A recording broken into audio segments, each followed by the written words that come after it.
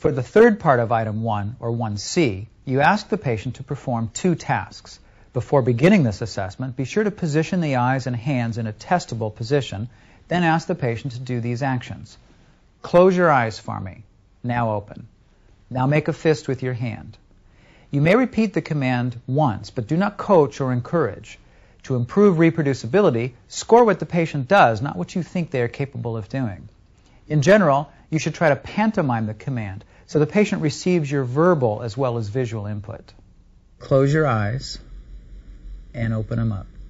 That's terrific. Take your left hand and make a fist. And now open it up. That's great. For scale item 1C, this patient scored a 0. Let's look at how this scale item is scored. Score a 0 if both tasks are performed correctly. Score a 1 if one task is performed correctly. If the patient does not speak English, a friend or family member can be asked to translate. Now ask her to close her eyes. Cierra tus ojos. Ábrelos. Ask her to take this hand and make a fist. This hand. This hand, make a Ajá. fist. Ah, aprieta tu mano así. Haz tu mano así. Make Así. a fist. Score a 2 if neither task is performed correctly.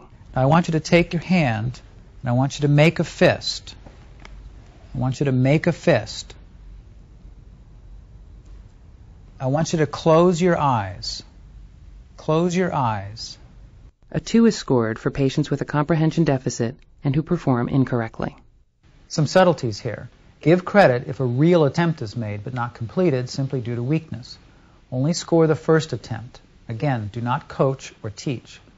By the time this scale item is tested, you will have already interacted sufficiently with the patient to judge whether or not the patient will actually comprehend your verbal commands. If you're dealing with patients with trauma, amputation, or other physical impediments, you'll need to substitute other one-step commands.